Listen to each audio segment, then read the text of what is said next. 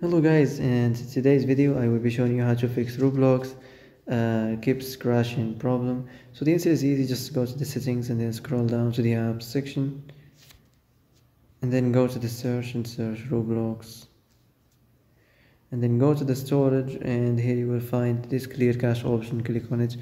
Now you can go check it if it worked and if it didn't you can try to restart your phone or turn the Wi-Fi off and on or the Bluetooth or the airplane mode uh, also you can try to clear data but be careful. If you clear data all these applications data will be deleted.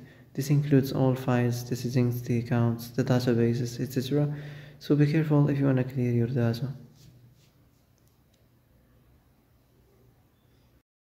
And that's it for today's video. Uh, i hope this is the answer you've been looking for.